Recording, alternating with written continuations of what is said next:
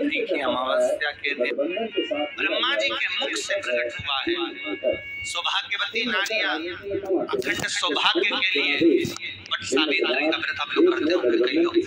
अखंड सौभाग्य के लिए करेंगे, क्योंकि इस बट के पेड़ के नीचे भगवान विष्णु शंकर जी से विनती करे थे। इसलिए अखंड सौभाग्य का देने वाला। जिसका प्रॉपर्टी का झगड़ा चल रहा हो, अदालत में कोई केस चल रहा हो, किसी भी चीज़ का केस अदालत में अगर किसी भी चीज़ की अगर केस चल रहा है तो बड़के पत्ते के ऊपर बालू मिट्टी का शिवलिंग बालू रेत का। बड़के पेड़ के नीचे ही उसकी पूजन करें। उस पर तीन चम्मच दही चढ़ा दें। अपनी मनोकामना कर कर दही चढ़ाकर उस दही को चम्मच में वापस ले जाए।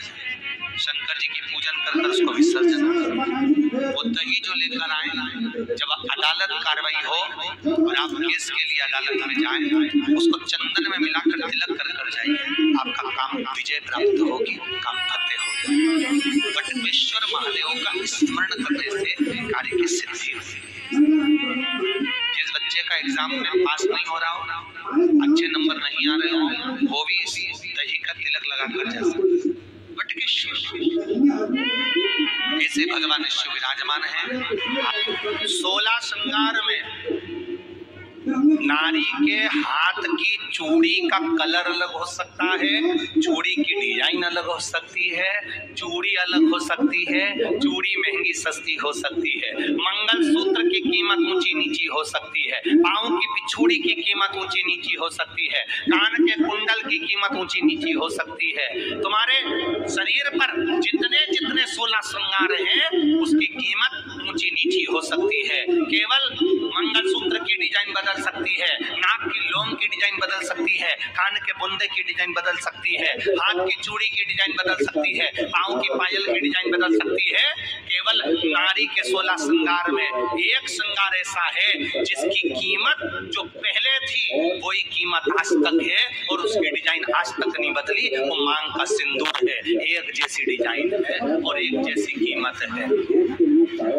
सारे श्रृंगार की कीमत अलग पर मांग में जो सिंदूर डाला जाता है, वो एक कीमत का होता है, एक डिज़ाइन का होता है और एक जैसा होता है। और वो सबसे भारी होता है। सावित्री, यमराज से कह रही है मेरे पति को छोड़ दो। यमराज कह रहा है, सावित्री, तेरा पति मर चुका है। मांग के सिंदूर को पोछ दे। सावित्री कहती पूरा श्रृंगार उतार दूँगी, पर मांग का सिंदूर नहीं पूछने दूँगी। तब यमराज ने कहा, जब तक तू मेरे मांग का, अपनी मांग का सिंदूर नहीं उतारती, तब तक तू मेरे पास नहीं आ सकती। भगवान, यमराज से सावित्री ने कह दिया, मैं भी तुझे वचन देती हूँ, यमराज, मेरी मांग में जब तक सिंदूर है, जैसे सीता ने लाइन, लक्ष्मण जी ने लाइन खींच दी थी, और सीता पार नहीं जा सकती थी, मैं भी तुझे वचन देती हूँ, जब तक नारी की मांग में सिंदूर है तब तक तो उसके पति को उसके सामने लेकर नहीं जा सकता। ये भी तुझे यमराज भैंसे पर सवार होकर सत्यवान को लेकर जा रहा था। सावित्री से वचन पर वचन चल रहे थे। अड़के पेड़ के नीचे छोड़कर आए। क्या चाहिए तुझको? क्या चाहिए तुझको? क्या दूँ मैं तुझको? कुछ मांग ले मुझसे। सावित्री कहती है। क्या दोगे आप? मेरे पति के प्राण दे दो बस, वापिस, और कुछ नहीं चाहिए। यमराज यमलोक में प्रवेश करने लगा। मांग के सिंदूर में से थोड़ा सा सिंदूर सावित्री ने केवल हाथ में लेकर अपनी बिंदी पर जो लगाया सत्यवान को लेकर यमराज अंदर नहीं जा पाया। बाहर खड़े होकर कहता है, मांग ले मैं तुझे एक वचन नहीं। तू बोले तो मैं दो वचन दे देता हूँ। तू बोले तो मैं तीन वचन दे देता हूँ। तू मांग क्या चाहिए? तब सावित्री ने कहा, देना चाहते हो? हाँ। यमराज को लगा कि लालच में पड़ गई सावित्री। तब कहा, पहला वचन दीजिए। मेरे अंधे सास ससुर के नेत्र वापिस सजाएँ यमराज ने कहा, तथास्तु। दूसरा वचन दीजिए। मेरे सास ससुर, अपने पोता पोती का मुख देखें। यमराज ने कह दिया, तथास्तु।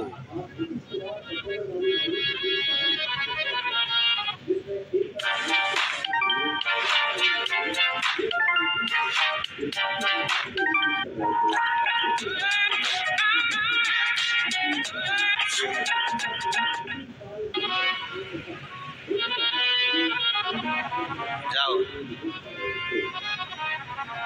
यमराज जाने लगे, फिर आग जलने लगे। कहने लगे, अब मैं अंदर क्यों नहीं जा पा रहा हूँ? सावित्री कहती है, तुमने वर दिया है। मेरे सास ससुर पोता पोती का मुख देखें। उनके बेटे को तुम ले जाओगे तो पोता पोती कहाँ से होगा? छोड़ कर जाओ सावित्री है, पति को वापिस लेकर आ कर्जा मुक्ति के लिए सारे वृक्षों में अगर कोई श्रेष्ठ वृक्ष माना गया है तो वो बट का वृक्ष माना गया महाराज, इसलिए प्रशासनिक कार्य के लिए, मानसिक टेंशन में परेशानियों में बटकेश्वर महादेव का स्मरण किया जाए और यदि निवेदन करूँगा, बहुत ज़्यादा यदि आपको कर्जा हो गया है बहुत ज़्यादा कर्जा हो गया, और वो कर्जा चुक ही नहीं रहा तो थोड़े दिन बड़ के पेड़ के नीचे आप बटकेश्वर महादेव के लिए एक लोटा पानी, उसमें थोड़ा सा पिसा हुआ चावल। चावल पीस के गला लेना चावल को और पीस लेना, पीस के उस पानी में मिला देना और मिलाकर उसमें थोड़ी सी हल्दी पिसी हुई डालकर बटकेश्वर महादेव के नाम से बड़ के पेड़ के नीचे अपनी कामना कर जो कर्जा हुआ है, उस कर्जे का भान देते हुए, स्मरण देते हुए छोड़ दो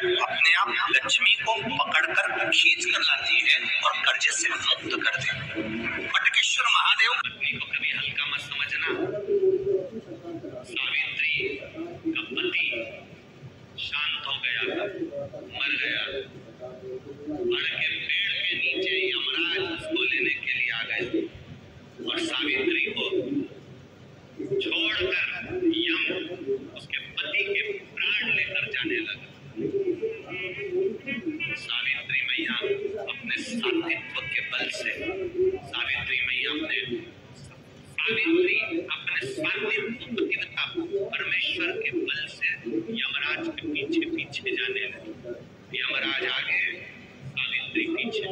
यमराज आगे सावित्री पीछे। यमराज ने पलट कर देखा तो पीछे सावित्री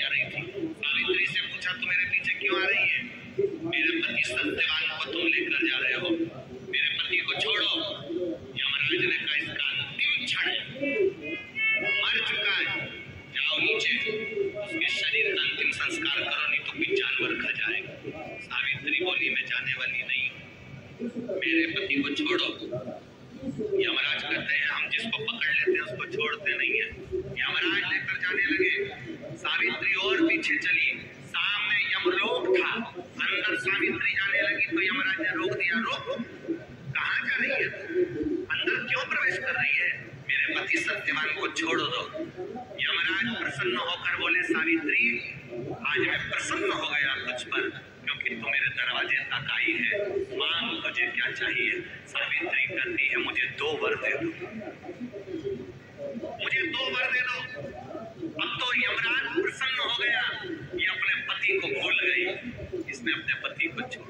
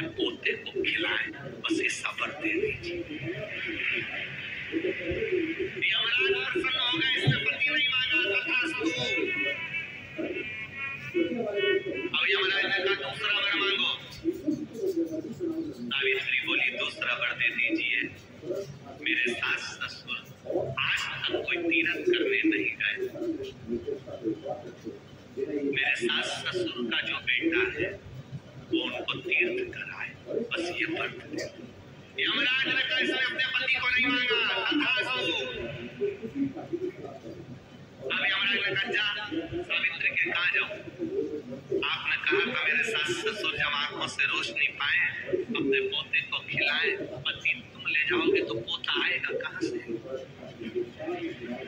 पति तुम ले जाओगे? पोता कहाँ से? और यदि मेरे सास ससुर के बेटे उसको तीर्थ कराए तो मेरा पति अगर तुम ले जाओगे तो उनका बेटा ही तो है। तीर्थ कराएगा कौन? यमराज प्रसन्न हो गया, उसने उस सत्यवान को वापिस लौटा दिया। वो सत्यवान सावित्री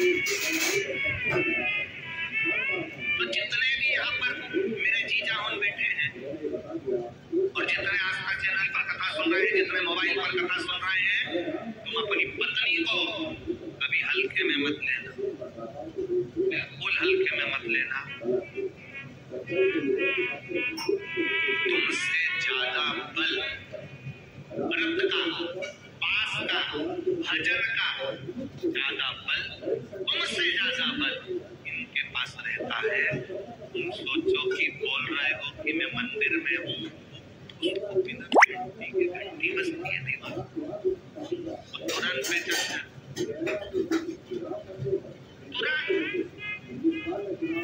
अपने पति को धर्म पत्नी अच्छे से जानती